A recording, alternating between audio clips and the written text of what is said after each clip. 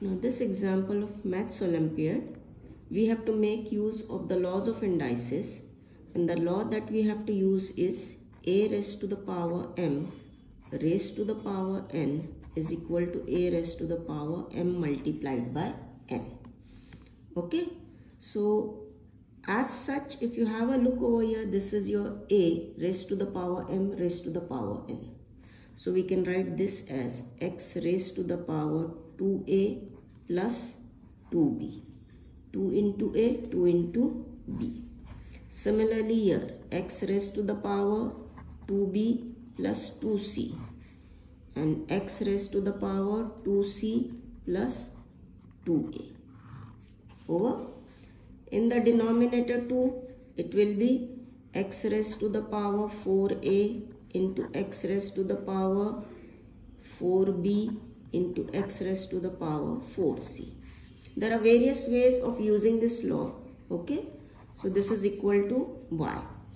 अब देखिए, यहाँ पे हम नेक्स्ट लॉ यूज़ करेंगे that is when bases are same powers are added क्या है when bases are same powers are added that means a raise to the power m okay into a raise to the power n ये a है आपका। Multiplied है। A raise to the power m a raise to the power n is equal to a raise to the power m plus n तो अब यहाँ पे अब हम कौन सा लॉ अप्लाई करेंगे? ये वाला। So bases are same powers आप क्या आप ऐड कर रहे हो? X raise to the power two a plus two b plus अब इसको भी two b plus two c यहाँ पे भी। Plus 2c plus 2a in the denominator. x raised to the power bases are same. Powers are to be added. 4a plus 4b plus 4c is equal to y. So now this will give you how many times 2a? देखो दो बार है यानी 4a plus how many times 2b? दो बार 4b and 2c 4c upon x raised to the power 4a plus 4b plus 4c is equal to y. अब इसको मत add कर देना बेटे। Remember these are unlike terms a b c unlike terms है। नहीं तो आप लिख डालोगे how much twelve a b c this is the mistake that you all commit four plus four plus four twelve a b c that is absolutely wrong समझे ना? अब ये टर्म्स सेम है आपकी। कट हो गई।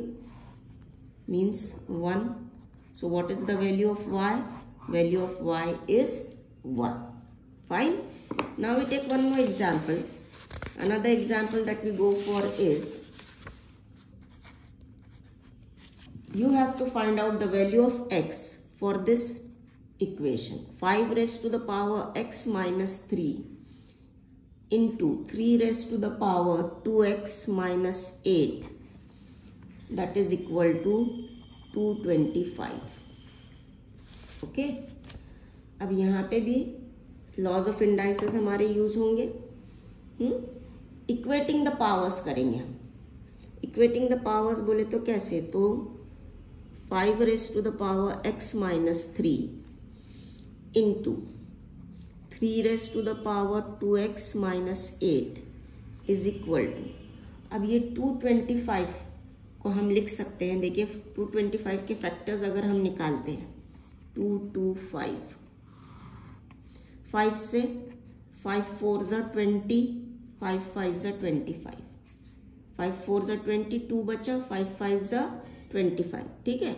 अब जा रहा फाइव नाइन ज़ा forty five so three three ज़ा नाइन थ्री वन ज़ा थ्री यानी आपके जो फैक्टर्स है टू ट्वेंटी फाइव के, वो हो गए five square into three square देखो फाइव दो बार थ्री दो बार.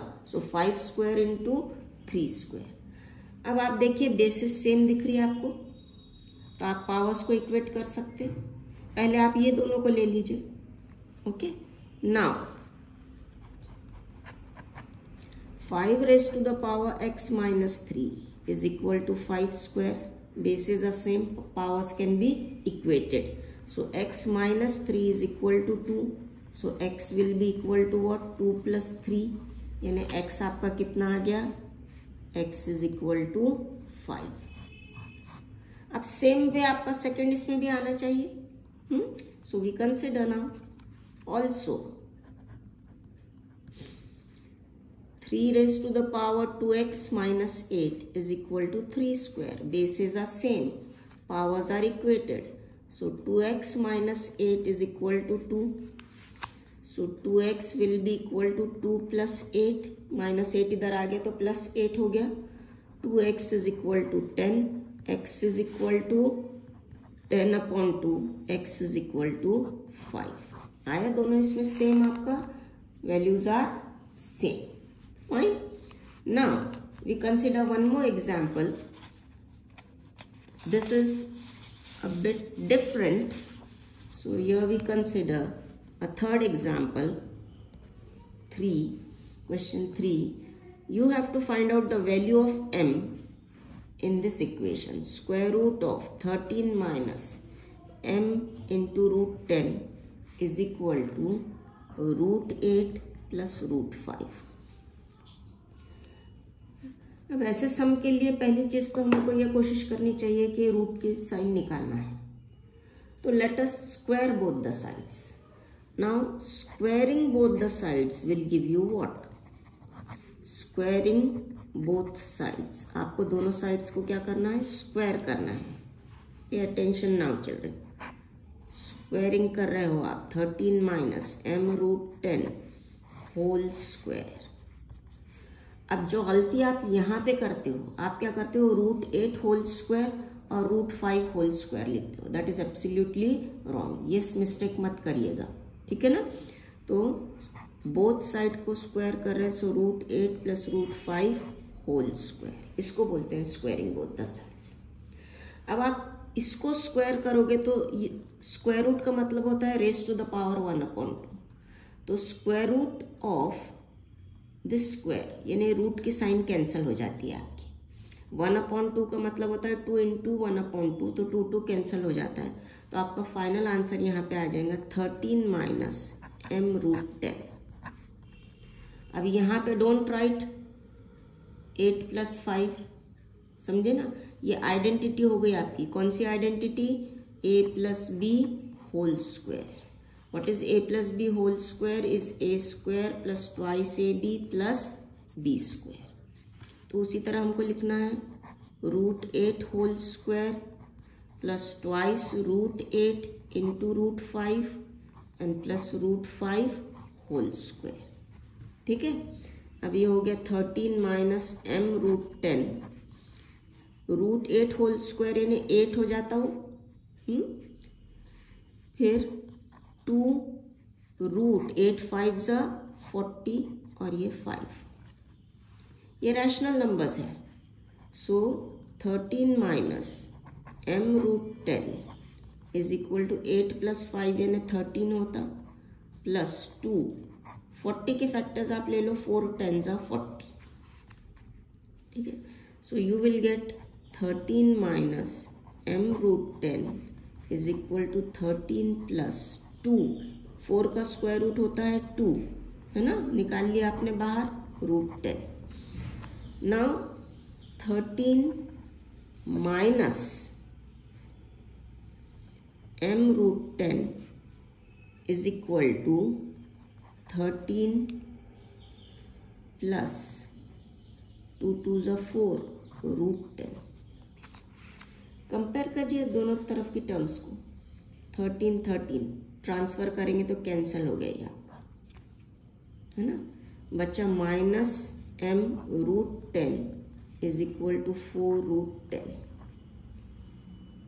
ठीक है? अब आपको चाहिए एम की value.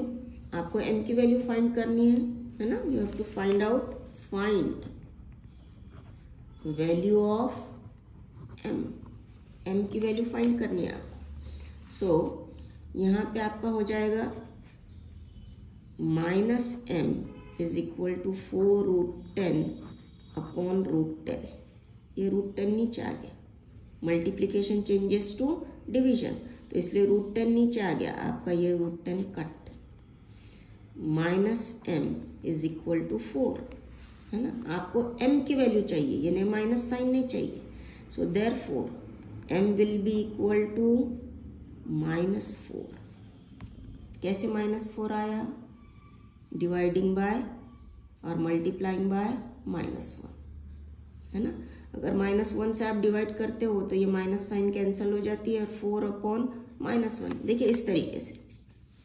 Minus m divided by minus one, four divided by minus one. आपको प्लस एम चाहिए ना? ये माइनस की sign cut so m is equal to minus four. ठीक है? I hope you got the sum.